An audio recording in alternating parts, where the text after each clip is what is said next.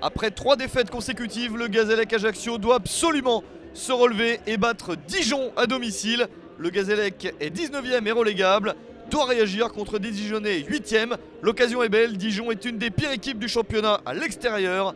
Dijon n'a gagné qu'un seul match, loin de ses bases cette saison. Le Gazélec qui va pouvoir compter sur son gardien de but international algérien revenu de la Cannes, Raïs Mboli. Jean-François Rivière sera bien à la pointe de l'attaque du Gazélec. Un Gazélec qui joue sans Romet suspendu. Rachidi et Novilo ne sont pas disponibles pour ce match. La première opportunité de la partie est en faveur de Dijon avec cette reprise. Ça passe juste à côté. Une première frayeur pour la défense corse. Dijon qui poursuit sur sa lancée avec une nouvelle opportunité intéressante. Le ballon contré par la défense. Pas mal de chances d'ouvrir le score. Mais toujours le Gazélec qui tient le match nul. Attention encore à cette possibilité de frappe croisée. Ça passe à côté. Toutes les occasions sont pour Dijon dans la première période.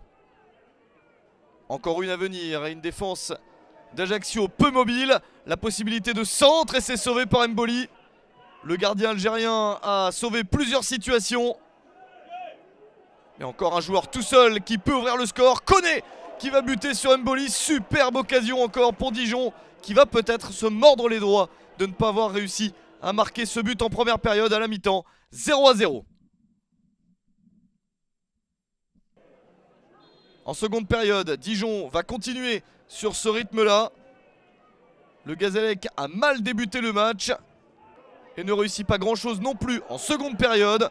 Toujours de bonnes chances pour les Dijonais. Encore une frappe cadrée sauvée par Mboli, qui est l'homme qui permet à son équipe de tenir le point du nul. Dijon qui joue avec Moulumba au milieu du terrain. L'ancien Lorientais est précieux, tout comme Julio Tavares, qui vient d'entrer sur le terrain.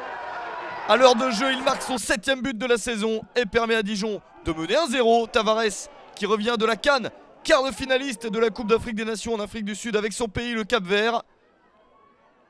Et Tavares qui va récupérer cette balle pour une frappe puissante sauvée par Mboli.